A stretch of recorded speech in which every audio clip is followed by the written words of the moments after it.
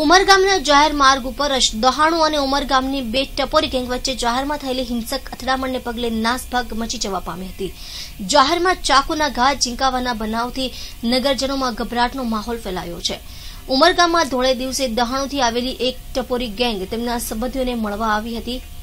આ વખતે સ્થાનિક ટપોરીઓની ગેંગ સાથે હિંસક અથડામણ થતા જાહેરમાં ચાકુના ઘા ચીંકાતા નાસભાગ મચી જવા પામી હતી.